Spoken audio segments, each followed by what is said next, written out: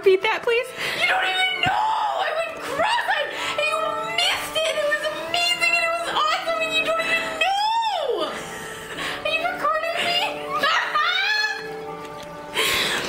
Okay, so this is the first ever episode of the Never Tree with uh so.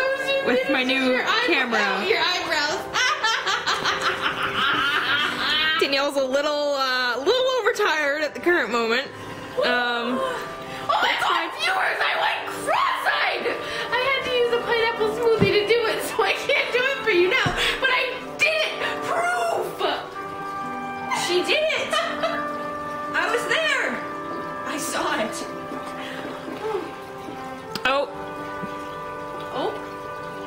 Oh. Peter Pan says, "Hey baby, I feel so out of it right now." Now? Or was it from earlier? I don't know, it says 10 p.m. Oh, um, he's probably getting ready for work. It's snowing. It's snowing a lot. Like, I don't know if you can see it outside right now, but it's snowing a lot. Hey, there's the prison again. I can actually see out the window.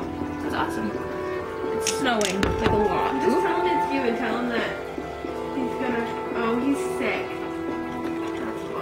Like sick, sick, like pukey sick.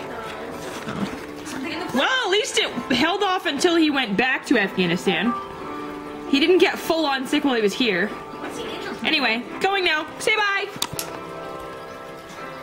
You can, you can say bye. Bye!